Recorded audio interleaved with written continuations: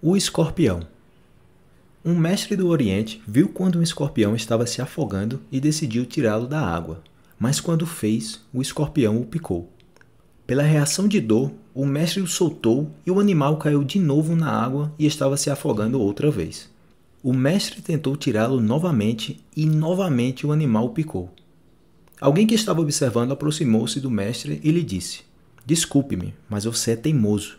Não entende que todas as vezes que tentar tirá-lo da água, ele irá picá-lo? O mestre respondeu: A natureza do escorpião é picar, e isso não vai mudar a minha, que é ajudar. Então, com a ajuda de uma folha, o mestre tirou o escorpião da água e salvou sua vida. Não mude sua natureza se alguém te faz algum mal, apenas tome precauções. Alguns perseguem a felicidade, outros a criam Preocupe-se mais com sua consciência do que com a sua reputação. Porque sua consciência é o que você é, e sua reputação é o que os outros pensam de você.